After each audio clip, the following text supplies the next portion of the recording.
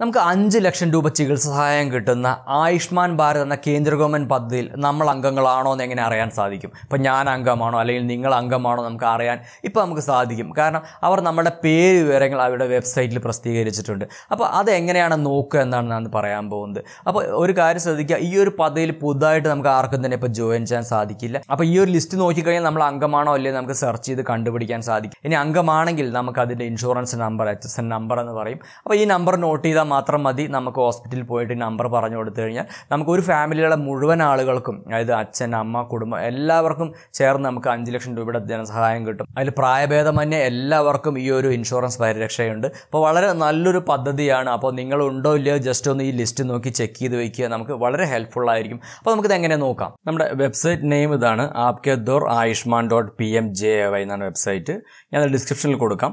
അതിനുശേഷം നമ്മൾ നമ്മുടെ മൊബൈൽ നമ്പർ കൊടുക്കുക. മൊബൈൽ നമ്പറിലേക്ക് അപ്പോൾ ഒരു ഒ ടി പി മെസ്സേജ് വരും നമ്മൾ O T P message enter ചെയ്യുക. അതേപോലെ തന്നെ താഴെ കാണുന്ന നമ്പർ ക്യാപ്ച നമ്പർ കൂടെ നമ്മൾ എന്റർ ചെയ്ത് ലോഗിൻ ചെയ്യുക. ഇത്രയും ചെയ്തു കഴിഞ്ഞാൽ നമുക്ക് നമ്മുടെ ഡീറ്റെയിൽസ് കൊടുക്കാനുള്ള സ്ഥലമാണ്. ഇവിടെ നമ്മൾ നമ്മുടെ സ്റ്റേറ്റ് ഏതാണ് കൊടുക്കുക. അപ്പോൾ നമ്മുടെ കേരള കൊടുക്കുന്നുണ്ട്. അതുപോലെ നമ്മൾ ഏത് ഏത് ഡിസ്ട്രിക്റ്റാണ് ഇപ്പോൾ ഞാൻ കണ്ണൂർ ഡിസ്ട്രിക്റ്റാണ് ഞാൻ കൊടുക്കുന്നത്. അപ്പോൾ നിങ്ങൾ ഏത് ഡിസ്ട്രിക്റ്റാണ് നോക്കി ആ ഡിസ്ട്രിക്ട് കൊടുക്കുക. അതേപോലെ തന്നെ ബ്ലോക്ക് നമ്മുടെ ബ്ലോക്ക് നമുക്ക് അറിയണം. ബ്ലോക്ക് കൊടുക്കുക. ബ്ലോക്കിന്റെ പേര് സെലക്ട് ചെയ്യുക.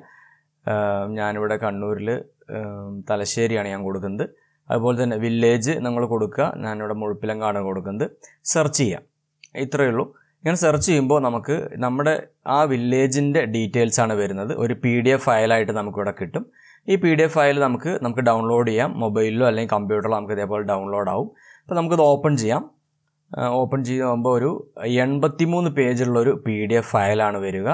ഓക്കെ ഇതിൽ നമുക്ക് താഴേക്ക് വരാം. നമുക്ക് എത്ര വീടുകൾ ഇതിൽ അംഗങ്ങളാണ് നോക്കാം. ഇപ്പോൾ രണ്ടായിരത്തി മുന്നൂറ്റി അഞ്ച് ഫാമിലീസ് ഈ ഒരു വില്ലേജിൽ മാത്രം ഈ ഒരു സ്കീമിൽ അംഗങ്ങളായിട്ടുണ്ട്. അപ്പോൾ അവരുടെ ഫുൾ ഡീറ്റെയിൽസ് നമുക്ക് ഇതേപോലെ കാണാം. അതിന്റെ നമ്പർ പേര് വീട്ടുപേര് അച്ഛന്റെ പേര് അങ്ങനെ ഫുൾ ഡീറ്റെയിൽസ് നമുക്കിതൊന്ന് സെർച്ച് ചെയ്യാം.